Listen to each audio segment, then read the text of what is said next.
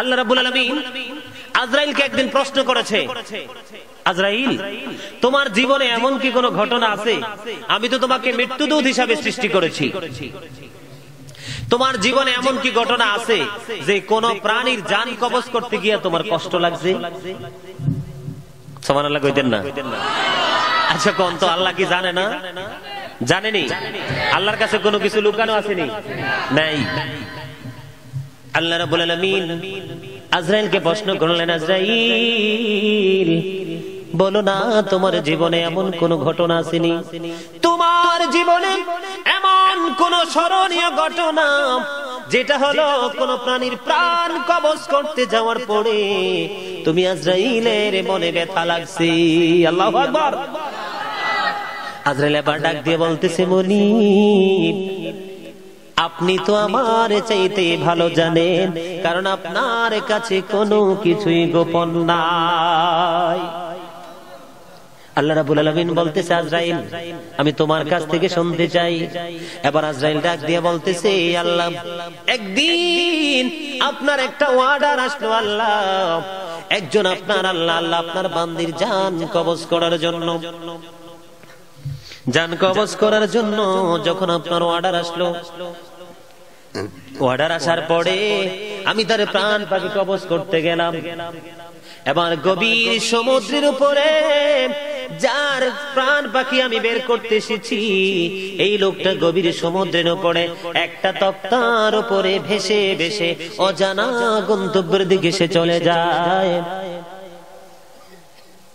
যখন আমি তার প্রাণ পাখি কবজ করতে গেলাম, ওই মহিলাটা অজ্ঞান অবস্থায় ছিল। এই অবস্থায় তার একটা সন্তান প্রসব হয়েছে। সে একটা সন্তান জন্ম দিয়েছে, পুত্র সন্তান। তার সন্তান প্রসব হওয়ার পরে আপনি আল্লাহর অর্ডার আসলো, ওই মহিলার জান আমাকে কবজ করতে হবে। একদিকে তার প্রসব যন্ত্রণা আর একদিকে মৃত্যুর যন্ত্রণা। আল্লাহ সেদিন এই মহিলার জান কবজ করতে যাইয়া আমি আজরাইলের বড় ব্যথা লেগেছে। আজরাইলের কথা শুনে আল্লাহ মুস্কি হাসি দিয়েছে। সোহান আল্লাহ বলেন। কি হাসি দিয়েছে? আমার আল্লাহ সুন্দর করে হাসি দিয়েছে। আবার হাসতে হাসতে আজরাইলকে জিজ্ঞেস করল, আজরাইল, আর কোন এমন ঘটনা তোমার জীবনে আসেনি? আজরাইল বলতেছে, আল্লাহ আর একটা আছে আল্লাহ তোমার তোমার এক বান্দার করতে হবে।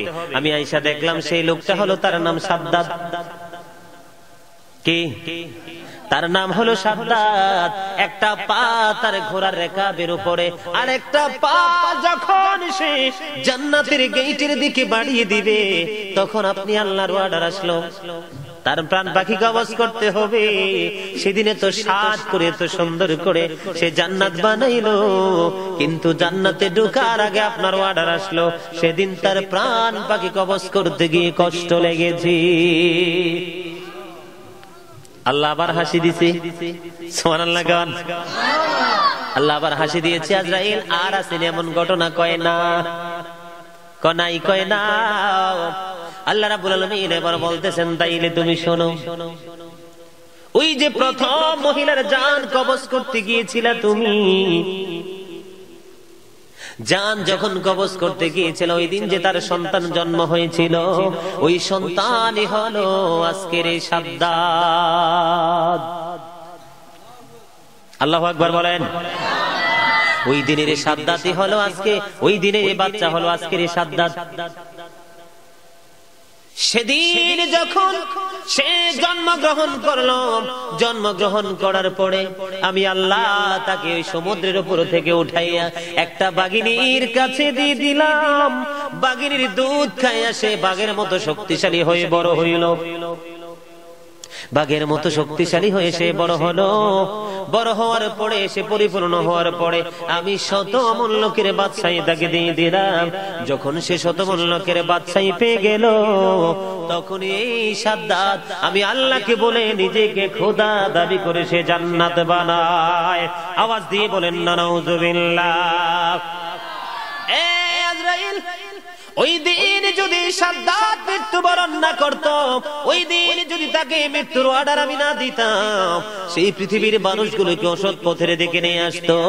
এক জামানার মানুষগুলো তাকে পর্যন্ত খোদা মানত আওয়াজ দিয়ে বলেন না নাউজুবিল্লাহ এই কারণে আমি তাকে জান্নাতে প্রবেশ করতে দেইনি। যাওয়ার আগে আগে আমি তাকে কতল করে দিয়েছি। ঠিক কিনা বলেন? এই ঘটনাটা বলার কারণ হলো, আজকের দুনিয়ার মানুষগুলো মনে করে, তার দুইটা ছেলে, একটা ছেলে ইটালি, লন্ডন আছে, কানাডা আছে, অস্ট্রেলিয়া আছে, মালয়েশিয়া আছে, সৌদি আরব আছে, ওমান আছে, কাতার আছে, মালদ্বীপ আছে। তার টাকা আছে, সুন্দর একটা বাড়ি আছে, সুন্দর একটা গাড়ি আছে, কয়েকটা দালান আছে, বন্ধুরা আমার। তার মনে হয় আল্লাহ রসুলের কোনো প্রয়োজন নেই আমি আমার মনে হয় এই যুগের কিছু কিছু মানুষের মধ্যে ওই সাদ্দাতের মতো অহংকার চলে এসেছে। তারা কাউকে পরোয়ান করে না। আল্লাহর কোরআন হাদিসের আইনগুলো তারা মানতে নারাজ। আল্লাহ রাব্বুল আলামিনের অর্ডার তারা মানতে চায় না। ও বন্ধুরা আমার, এই পৃথিবী হলো আপনার আমার জন্য পরীক্ষার হল। ঠিক কিনা বলেন?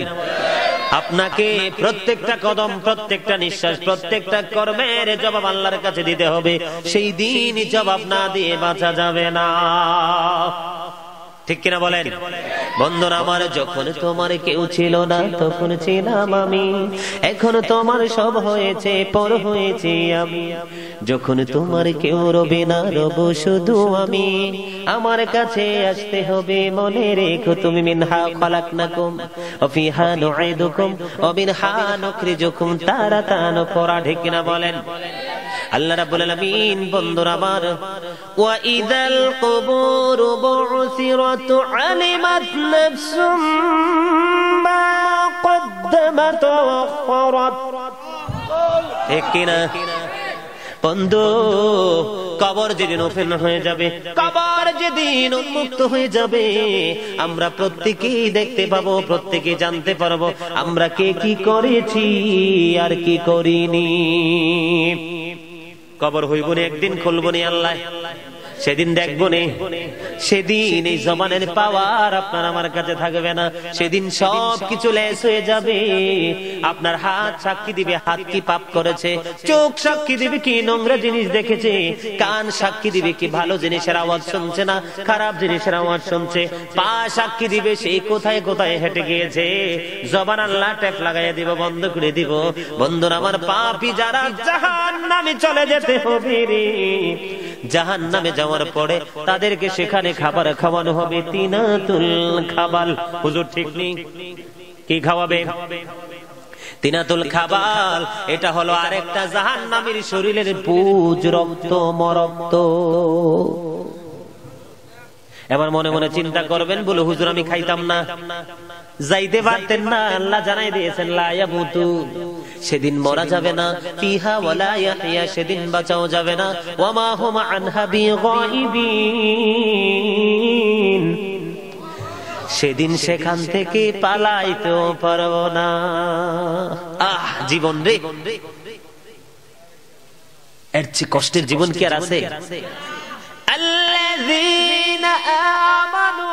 آمنوا وكانوا يتقون لهم البشرى في الحياة الدنيا وفي الآخرة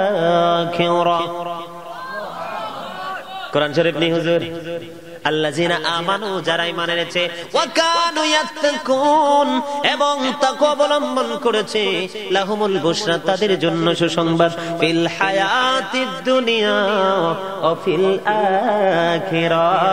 দুনিয়ার জীবনে এবং পরকালের জীবনে। আওয়াজ দিয়ে বলেন না, সুবহানাল্লাহ। আর একটু মহাব্বতে পড়ুন সুবহান কোন সাধনে পাইব তোমায় গো? কোন সাধনে পাইব তোমায়? বলেন, কোন সাধনে পায় গো? কোন সাধনে পাইব তোমায়? ওই নবী মাতৃ গর্বে আইসা, পিতৃহারা হইয়া গো। এতি মরপে আসলেন এই ধরায়। বিজি কোন সাধনে পাইব তোমায়। মারহাবা বলেন। আমাদেরকে সাধনা করতে হবে, পরিশ্রম করতে হবে, কষ্ট করতে হবে। আল্লাহ রাসুলের সাথে প্রেম করে দুনিয়ার সব মন্দ কাজকে বর্জন করতে হবে, আর দুনিয়ার যত ভালো কর্ম সবগুলো করতে হবে, ঠিক কিনা বলেন? আমি কি বলছি বুঝতে পারছেন? ইমান আনার পরে যাদের অন্তরে ভয় আছে তাকে আছে, আল্লাহর কাছে যেতে হবে, জবাব দিতে হবে, তাদের দ্বারাই কিন্তু সকল ভালো কাজ করা সম্ভব। যাদের অন্তরে ভয় নেই, তাদের পক্ষে সম্ভব না।